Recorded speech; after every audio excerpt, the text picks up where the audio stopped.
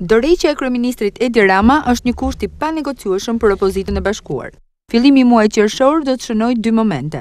Ditën e nesërme, Partia Socialiste do të çelë nga Tirana fushatën zgjedhore dhe vetëm një ditë më pas, opozita do të mbajë protestën e shtatë kombëtare po në kryeqytet. Të dyja kampet duken të vendosur në vendimmarrjet e tyre. Të pyetur nëse kryeministri i vendit duhet ta japë dorëheqjen, qytetarët durrsakë mbajnë qëndrime të ndryshme. Shumica e të intervistuarve refuzojnë të përgjigjen. Arsyet variojnë nga paqartësia, lodhja, alergjia ndaj sistemit të ngritur në vendin tonë, deri te frika apo tensioni që përcillet nga klasa politike shqiptare.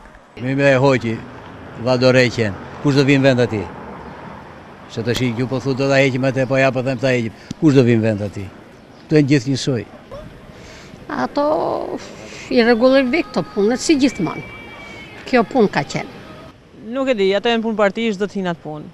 Populli është në hall me këta pushtetarët.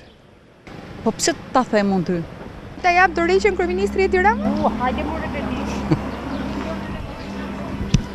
Zërat kundër dorëheqjes së kryeministrit nënvizojnë se Rama duhet të vazhdojë të kryesojë deri në përfundim të mandatit. Jo kot, s'do ta japë, vazhdojë të udhëheqë, punojë. S'do ta japë, ka marrë mandatin dhe vazhdon punën e vet.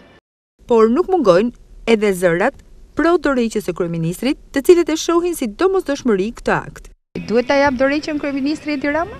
Duhet ta japi sa më shpejt, bile është i vonuar. Po pse? Nuk ka pse rri më. Sepse ai vetë kuptohet me veprimet e veta, me mënyrën e qeverisjes i ka shkaktu dëme shumë të mëdha këtij populli. Unë them duhet ta japë, se e ka bërë vendin për të dhënë. Ma keq nuk bëhet ma për popull. S'ka pse rri më.